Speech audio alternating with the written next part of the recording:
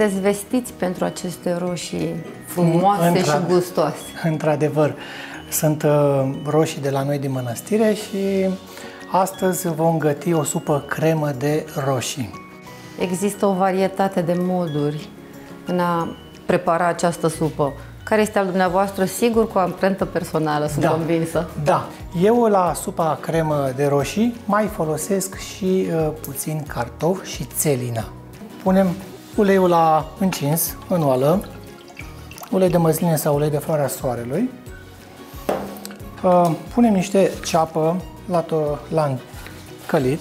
Ceapa nu trebuie acum neapărat să fie foarte măruntă, pentru că ele, oricum, toate legumele le vom da prin blender. Este o rețetă foarte simplă. O rețetă simplă, gustoasă. Noi la mănăstire o facem aproape uh, zilnic. O supă se consumă și rece și cald. Și rece și caldă, și cu crutoane și cu mămăligă. Și acum punem ceapa la călit. Când am pus ceapa, trebuie să punem și sarea și condimentele. Niște cimbru și busuioc uscat. După ce am pus ceapa, punem și morcovul la călit.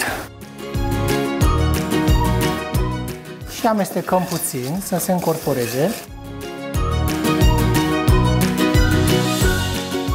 Tocăm și cartoful. Cartoful tocăm mai subțire puțin.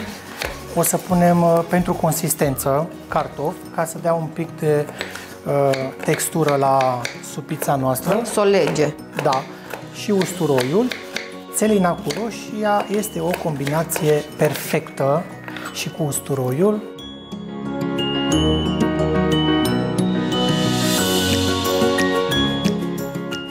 Acum tocăm roșiile. Momentul vedetei.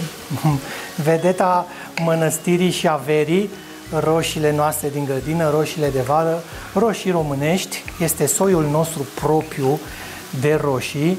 Roșii ca acestea doar aici le veți mai găsi la mănăstirea Slănic.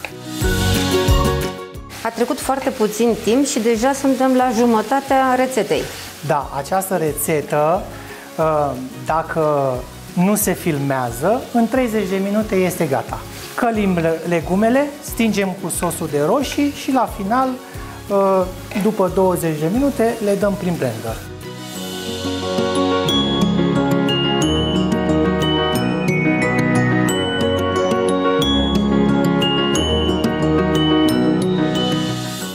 Foarte important la rețeta aceasta este să nu punem apă. Va trebui să o blenderuim ușor, că este fierbinte. Frate Daniel, îmi face mare plăcere să îmi aparțină ultima mișcare, ultima atingere, adică busuiocul. Busuiocul. Vom condimenta cu busuioc la această supă cremă de uh, roșii. Și acum am să vă rog să gustați dumneavoastră și să-mi spuneți dacă a ieșit ce v-ați propus. Da.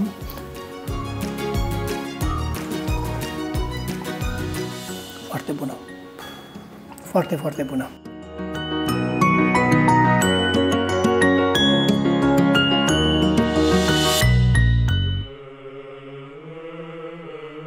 Mulțumim ție, Hristoase, Dumnezeul nostru, că ne-ai săturat pe noi de bunătățile tale cele pământești